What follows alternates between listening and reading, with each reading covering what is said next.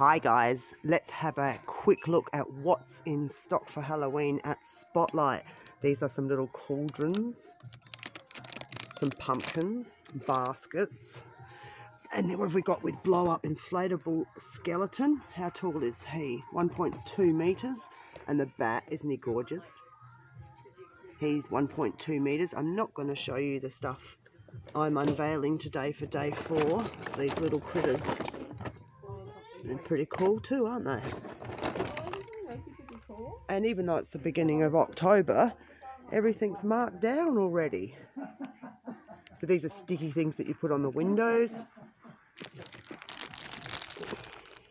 Here's a butchered hand, spiders, oh lots of spiders, some cool tape, keep out, beware.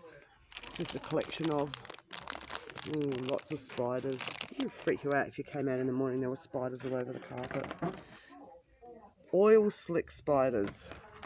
And around this side, stuff for your party night. Some tablecloths. It's a cool basket, isn't it? Spider web basket. That creepy looking dude there. Look at this thing. Can you hear that? Here's a skull in a cage. That's pretty cool. It's another spider there. Another critter. I Don't think he does anything. Just for show. Oh. Squeaky rat. And what have we got there? Some more spider webs, lollies for your party and your tricking and treating. And here's some tombstones. These are marked down as well. So regularly 35, now 28. Looks like there's four in there, two little ones down the bottom. Oh, looks like three big ones actually, three big ones there. Oh, ghosty panada. Ooh, cool. And then a range of costumes, masks.